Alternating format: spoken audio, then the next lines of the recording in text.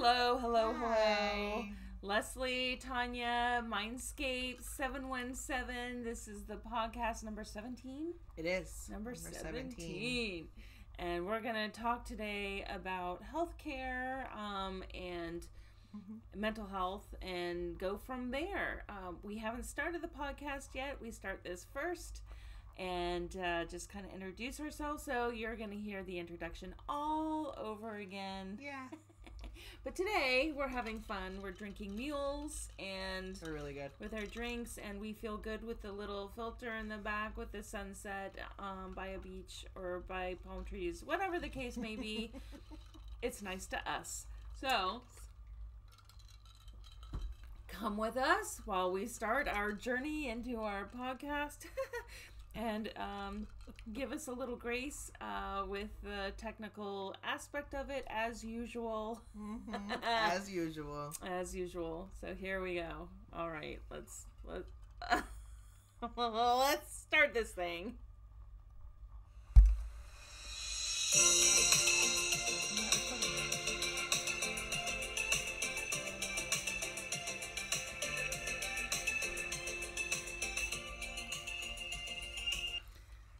Hello, hello.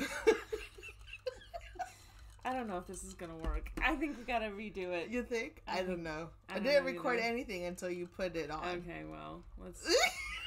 I'm not gonna do that.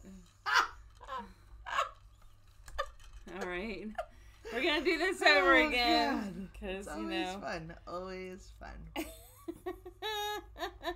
she says she's so nice to me. it's a good time. Louis it's totally red by the time it started. okay, well, we're doing this again. All right, here we go. Take two.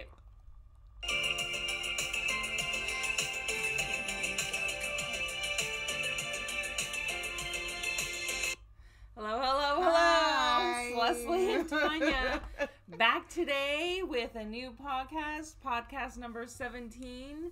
Woohoo! Mindscape 717. We are really rolling out now, and today we're going to talk about um, healthcare and mental health. Um, basically, healthcare more in the United States with all the subcultures involved in that um, than globally. But eventually, we do want to talk about the global global um, Yeah. mental health aspects of um, the healthcare field. Um, and like I said before, healthcare is such a vast field. It includes mental health. It, in, includes um, social workers. It includes nurses, doctors, physicians, dentists. Um, I mean, Yeah. And there's then even the techs, right? I mean, yeah, the techs, techs that are part of that. exactly techs, and and it even includes public health Yeah. like you know just community public health or community centers um, Mhm. anything homelessness um, so it includes all of that and all of Mhm. those aspects because they're so different though there's different languages and different cultures within each category Yeah. nurses have their own subculture doctors have their own subculture you know um, Yeah. social workers have their own language you know and Yeah. sometimes there's barriers to interprofessional communication but today we're gonna kind of focus on just um, just the mental health with healthcare in general. So yeah, because like we, you know, we mentioned in the um TikToks that we've been posting, I think um after several conversations that we had, and obviously, you know, speaking to what Leslie has been working on, um, these programs and things, like we had this conversation when we were going to Pittsburgh, um, and I had never heard of uh, Lorna Breen. Lorna Breen. I've never heard of her before. Um, and being that we were just talking about stuff, and then this is what she's working on. So I thought it was a really good idea to kind of talk about it because it's mental health. Like just as much as it's within the field of healthcare workers, right? That's the culture in and of itself, and then kind of looking at it how they've been impacted just from COVID to now, right? Like the last three years, three and a half years have been very hard on this culture, particularly because of everything that they've been exposed to. Um, I know, I mean, when we talk about all the subcultures, right? My my sister is front desk for a clinic, um, and she worked COVID clinics, right? Like these are all the different within this big healthcare worker kind of you know culture. We're looking at the different different sub subcultures because they're all impacted one way or another. Mm-hmm. You see They people are. coming in sick. If people got COVID, you got to test yourself. You got to make sure everyone's like it's it's just COVID within itself. The last three and a half years has been a huge issue for this culture particularly, and I think being that we're talking about mental health, I think it's super important to kind of just identify that because it's never too far away from us. Um, doctors are burnout, nurses, techs, and front desk, and right, just hearing a little bit of everything that's going on. Um, it is really difficult to, to deal with something like that. And going back to Lorna Breen, I think that's a really good. It's a very unfortunate example, but it's a really good example uh, uh, in regards to mental health and what that looks like for providers in the healthcare field. And for those of you who do not know Lorna Breen, she was a physician in a hospital during COVID who was overworked, overtired, exhausted, burnt out, um, and really did not. She was isolated and didn't feel like she had the support that she needed. Um, she ended up committing suicide, um, unaliving herself, and um, her family uh, in honor of everything she did and the amount of lives she saved, um, decided to go ahead and build a foundation in her name and honor um, to to create well-being um, courses for healthcare professionals, and it became a huge concern in politics. And so, um, government money was spent on this topic and was given to different organizations to create well-being courses or leadership courses or you know to do research on leadership and structure uh, a very holistic approach from the individual to the macro level like to the system level to, to find out what could be done to approach um, healthcare professionals with well-being resources tools toolkits everything you can imagine and they've done such a good job. They've really done a good job. And so i was hired to um, in in the job i am now uh, to develop programs for for this reason. And uh, so un- it's unfortunate that during the time of covid with the isolation and the auction uh, um, overburden uh, staff shortages um, and the craziness that went on Right. that um, you know a lot of our healthcare professionals and healthcare workers um, are depressed, are Yeah. anxious, are burnt out, even now. And I hate to say it because nobody wants to hear it, but COVID has come back around. Um, I'm going to a conference in um, in Atlanta soon, and it's for a public health organization, and we have to wear masks. We're not going to be able to get away. I have to give them all my booster shot information and everything. And the hotel got in touch with me and said you have to wear masks in the hotel as well. So it's coming back around. Yeah. I know we don't want to hear it. Um, and um, I know it's a, a horrible thing, but at the same time, uh, we have to protect our healers. Like, if we don't protect our healers and those that are taking care of us, Right. who's going to take care of us? right? Right, because it ain't gonna be me. I'm telling you right now. But you are. You're a frontliner too. Yeah, but You- not like them. Like Yeah. I, there is this Yeah. very special sense of respect for these providers who, yeah, we had an uptake in mental health as well, and and it makes sense, but we didn't have to be present in person. We could do virtual. We didn't have to do the what we were able to protect ourselves. These Right. doctors, not in like I mean EMTs and our Yeah. firefighters and Yeah, you know all of it. our frontline people. Yeah. I mean, are right smack and dab in the middle of everything, and we've got to protect them. We have to. Mm-hmm. We do.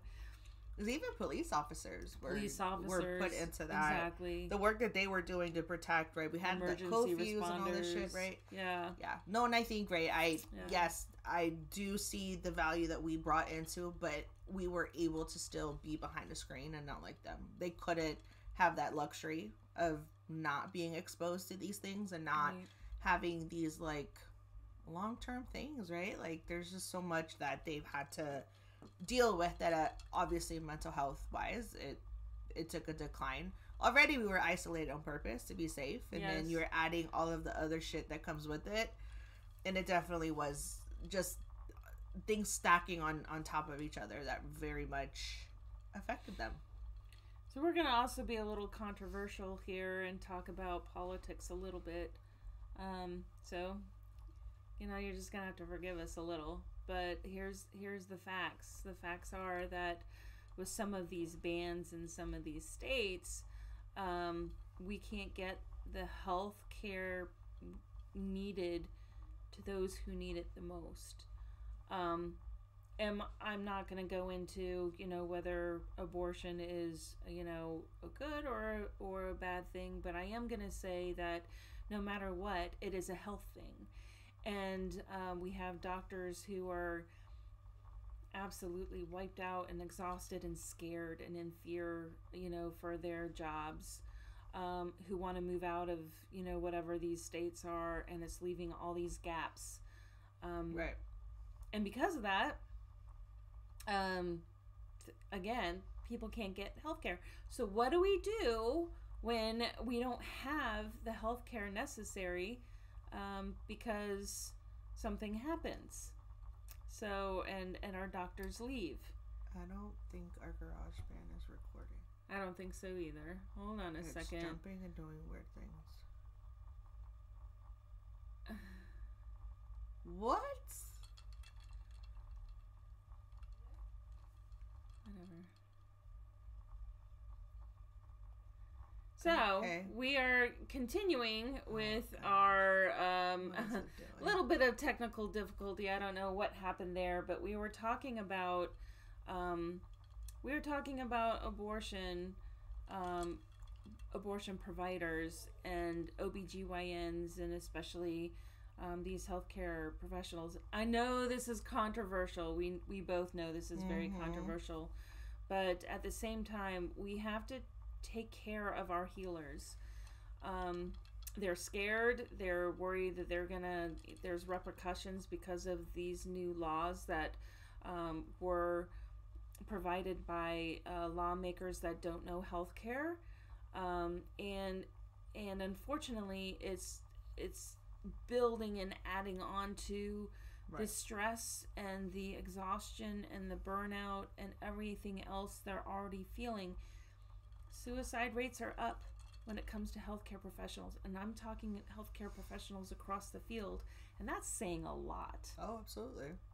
Well, there's a lot of things, right? I think you, if we just look at the last three and a half years already, and then all of the changes, like you were saying, like politically, and just COVID and all of the things, like that's a, that's a huge burden to bear, and trying to understand and still do the job that you want you need to do, right? Like because they are healers. If it weren't for them, we wouldn't be making it very far either. So there's a sense of responsibility that comes with that job and there's a lot at stake and there is it's lives but then when you when you're restricted that doesn't leave a lot of space for someone to feel supported and if you're not supported in something that is as hard as dealing with lives every day and dealing with death like it was during covid it just it just makes things so much harder for them. Like you can't like as a human you can't work through those conditions and not be directly affected mentally psychologically emotionally. That's a huge toll to have to deal with with something like that. Yeah. What would you suggest as a mental health therapist to practitioners in the healthcare field? And I, like I said, I already know this is a vast field. Yeah. You can't say the same thing to a firefighter as you in a rural area, for example, than you could to Right. a dentist in um in a city. So, So I I had a client that was EMT um in DC. So there was, you know, coming from one space to another. He came from a smaller rural town place to DC of all places. Um so the way we did our work cuz obviously there's trauma on a daily basis with something Mhm. like this. There's nothing that we could do short of quitting the job. You can't do nothing about it Um, so what we would do was just like talk about stuff. I would just give the space. It, if the healthcare provider or worker or whatever, if they want to find support, there are people out here that are willing to work with just them and give them the space to kind of just like talk about the shit that you don't know where to put it. You don't you don't want to take it home. You don't want to sit with it, right? Because even as therapists, we're told to do our own work and not carry things home. And I can't imagine if you see death the way they were seeing the deaths in numbers during COVID, that shit hurts for anyone. I was not there, but that sh- still hurt. Like it was a huge thing to have to process and for a healthcare worker i think the only thing that we can offer is space and support. Like honestly short of telling them to quit we can't say that. Because right. that's their job. And on the end of a researcher um, who is uh, you know researching a very small portion of the healthcare field when it comes to burnout and exhaustion we're finding that um, when when a worker feels like they can't say anything at work because it's work, um, it affects their family life. So it affects mm-hmm. everything to do with their family life. They feel isolated from the family. They don't feel like there's a connection. Right. Uh, they don't feel like they can do their personal, you know, hobbies um, or interests with the family um, because they're exhausted. They're exhausted, and that's the number one thing that we see everywhere is this mm-hmm. frustration and exhaustion, and, and depression that hits right. Yeah. Like there's a sense of depression, the sadness, the guilt, the heaviness, the not being able to get out of bed. The mass There's, exodus of healthcare professionals right. getting out of the field because they don't feel supported and they don't feel like they're heard. Right. So, so I would suggest that um, if you have somebody in the healthcare field, just let them know you care. Yeah, that's you know I think I think that's like the number one thing that we can do is just say, hey, we really do care. We really are there for you, um, whatever you need, and ask them what the support look like mm-hmm. for you. Because let's not assume that they that we know what's best for them by like, oh well, don't talk about it. It's too much. No, motherfucker, like let's talk about it. Like exactly. I don't, and I get this from even people that are without that are not in the healthcare. But if you want, if you need to talk about it, talk about it. And if someone's like, oh well, if you bring it up, then that's all. No, because you're gonna think about it anyway. So maybe that's not the person you go to. Maybe you go find one of me. You find a therapist that you could talk to and literally just like unload and leave it with us, right? Because that's our job to take care of but some people can't handle. Some people don't want to hear things because they can't handle it. But don't assume that if you like, well, don't talk about it. No, no, talk about it. Let them vent it out, and if they feel safe, then that's great. And if you can't handle it, also say that. Say, you know what, this is a lot, and I'm so sorry. But let's find you support. Let's find you someone you can talk to. If you can't be that support, then help them find someone that will hear their things and just be like, damn, like that really sucks. Like, I'm so sorry. Like, what does support look like? What can we do to better support you in regards to like self care, self love, self compassion? Compassion is so hard to have when you're mm-hmm. burnt the fuck out and you don't take care of yourself. So, I think as a therapist, I would I would always ask first, like, what do you need? Like, what does support look mm-hmm. like for you? Because sometimes people want to ignore the problem. Right. They don't want to talk about it because they can't handle and they're not honest enough. They're like, no, no, no. If you talk about it, then that's all you're going to think about. Nah, he woke up with this and he's going to go to bed with this. And yeah. if you don't want to listen to it, then you can just say that. So, you know what? I don't think I can handle that. Like, let's find you someone to talk to. So, you know, even in regular therapy, they always say um, don't go to bed angry. Like, communication is the number one thing you know, whatever. I don't know if I actually believe that. Sometimes you just need to cool off, and sometimes sleep helps. Mm. But um, regardless, one of the biggest things is don't go to bed angry, if especially if you have a spouse or a family or or anything like that, um, because anxiety can can accrue. But we also don't want exhaustion and burnout and um, and and fatigue to to settle in so it might be a good idea to just communicate before yeah. bed. You know, look, I'm going to be here for you. You know, just tell me what you need. Tell me what you need. Um, you know, if you need an extra bit of self care, I'm going to do whatever I can on my end to step up. You know. Yeah. because um, they are facing an epidemic. They are facing a mass exodus. They are facing Right. burnout in uh, bigger, bigger numbers than are than are being shown. Yeah. Um, we are seeing it. I mean, I'm because I'm in that field. Um, I'm seeing it everywhere, but um, I see it on TikTok too. Some physicians and some doctors and nurses, nurses especially. Thank God for our nurses. Um, you know, just all these people coming out and saying, "Hey, listen to us, hear us, talk to us." Yeah. Um, you know, we're telling you we're suffering. Um, there's mass staff shortage. That's got to be a problem. That's Yeah. got to be a massive problem. And there's increased workplace violence.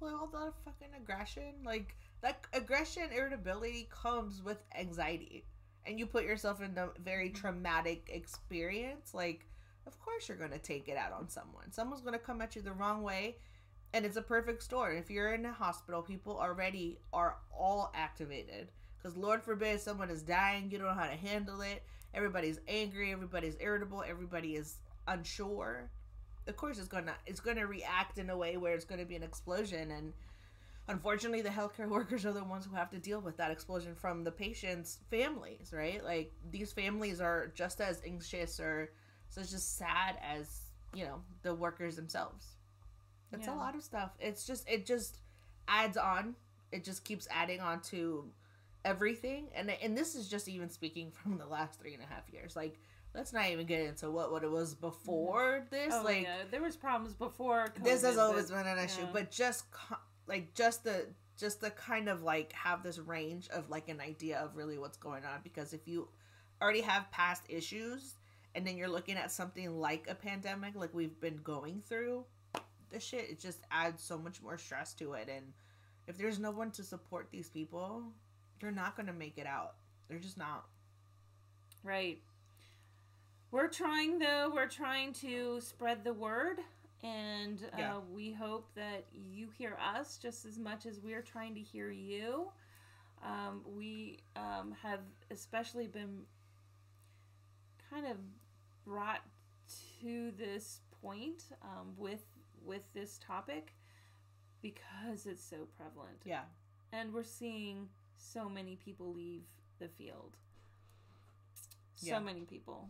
Oh, absolutely. And it, it's just again, we we wouldn't be doing this and having these conversations if it wasn't important. Culture and mental health, they're just such broad things, right? Because we can see as anything as a culture. And again, this is one of the cultures that I think there has been such an uptake and because Leslie is so like in it, um I thought it was just it was one of those things that we just we needed to talk about because I think because of where we are with COVID and I know people are like, no, it's fine. No, like this is going to be something that we still got to watch out for because it's still it's not going to just disappear, right? It doesn't just go away because we will it to, but just to see where we're going with this, right? Because we still got to be careful. We still got to take care of our people because if it is if it wasn't for them, I don't know where we would all be.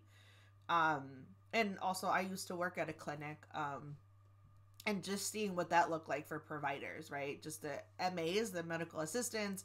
It was a small clinic, um, but nonetheless, there was still a lot of things that they had to deal with. So just be kind, if nothing else. Be kind to the healthcare workers. If you can't bring in or take in their stuff, please let them find some support.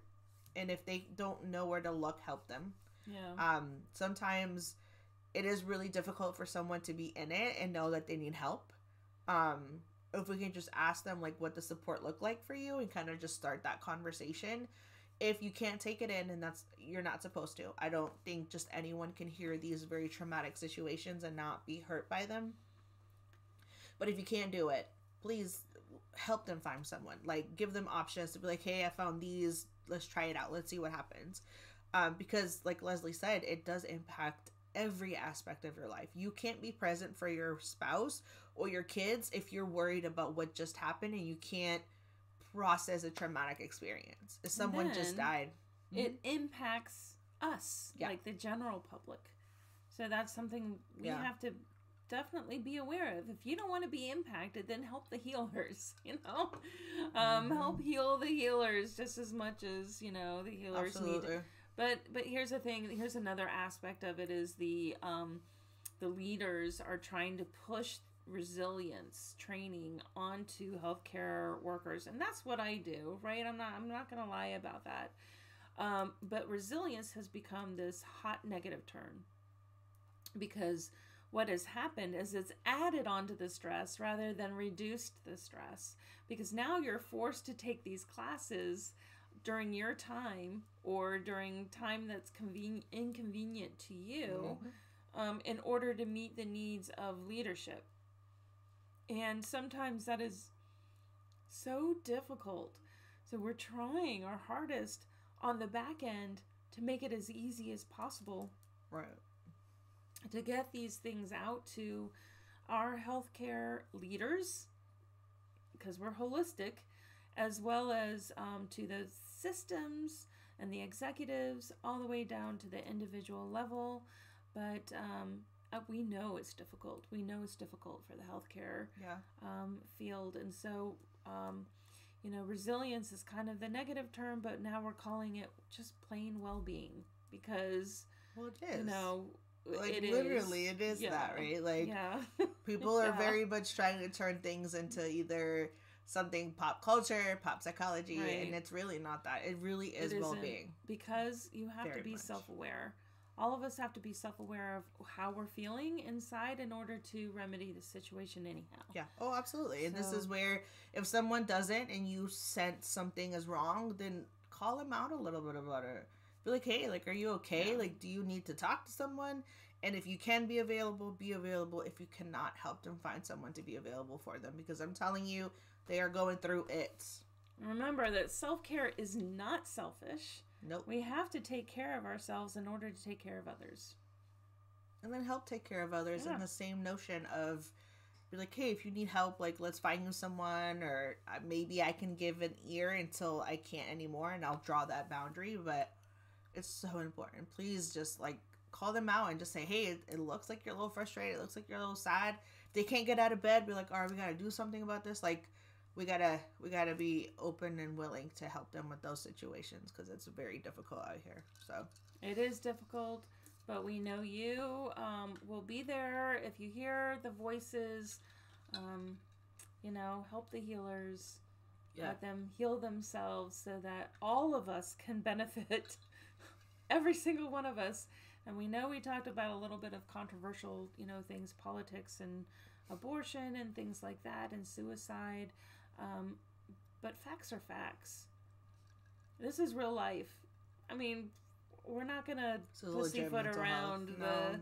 the topic just because you know people are upset about hearing um, you know those words. It's a real issue, um, and it's affecting all of us. we talk about this shit every day I know. we always ask the questions are you suicidal do you feel like you want to hurt yourself do you feel like this is something that we would not be doing our job if we didn't ask these questions. As a therapist i literally have to use those words almost on a daily basis. So the fact that we can't say that is ridiculous to me. Anyway, so next time we are going to um, we're gonna be dressed up, right? Are we dressed up for Halloween for next? next yeah, we are. We're gonna dress up. i'm supposed to be getting my costume tomorrow are you? yeah i ordered it girl So there you go. We're gonna dress up and, and have fun. You can watch us on YouTube. Um, you know, instead of listening to the podcast, you can go straight to YouTube. Whatever you want to yeah, do. it's gonna be a whole thing it's gonna be a yeah, whole thing. yeah, yeah. So we should we should have some fun. And then after that, we're going to Wilmington, North Carolina. We're gonna take you with us. We're gonna do a lot of videos so on that, excited and uh, you know, lots of humor and laughter, food and Always. travel and culture always um, and as always, mental health. So I think that's going to be it for today. Please leave comments, ask some questions. We want to be there for you. Um, watch us on TikTok because we're all over the place. You can we're ask trying us to be we're trying to be so Insta. Let us know hmm We're there, and you can always email us, mindscape717 um, at gmail. And we have a website out, mindscape717.com. Come visit us. Let us know what you think of it. Um, or if we need to improve it or give us suggestions, we're all about that. Yes, please. Yeah. All right. All right, take care, guys. Thank you very much. See you later.